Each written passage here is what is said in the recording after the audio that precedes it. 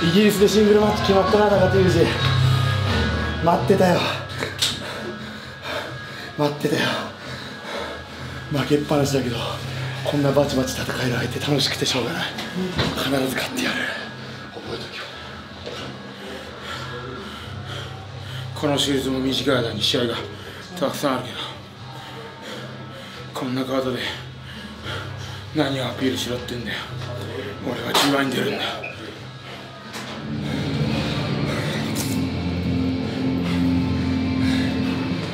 どうもじゃしたよいしょ13日のライオンズゲートの夜から急な寒気と節々の痛みに見舞われてその扁桃腺が腫れてここ3日ほど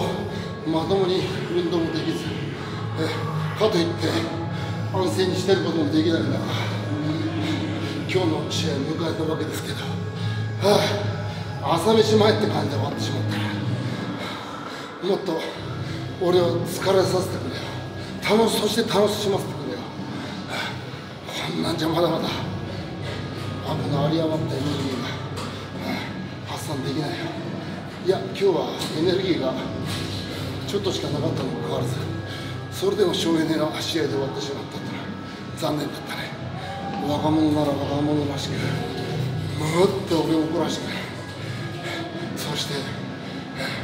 もっと俺をボロボロしてほしいね。ですどうもありがとうございまし